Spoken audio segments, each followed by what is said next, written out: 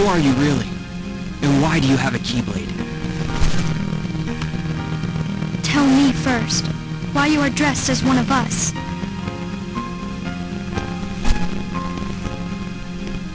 To make sure my best friend sleeps in peace.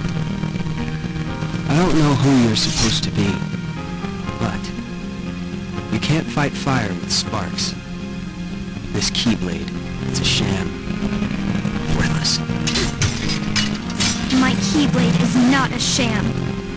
What gives you the right to say that?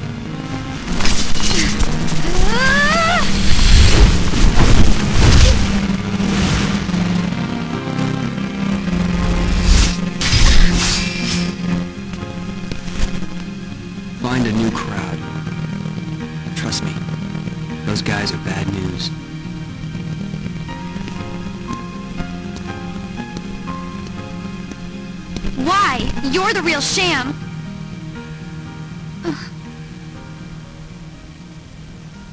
Fair enough. You could say I am the biggest nobody of them all.